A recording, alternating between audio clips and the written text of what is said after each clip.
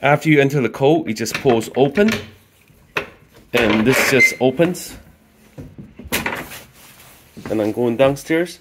The light is on because the restaurant keeps it on.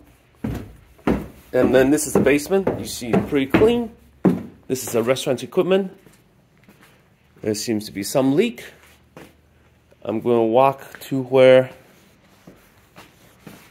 the meters are, which is all the way in the back. And this is where your circuit breaker panel is as well. If you need to reset it, you're on floor three, right here.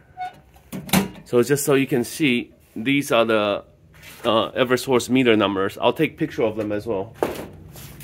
And this is the gas meter number, which is right here.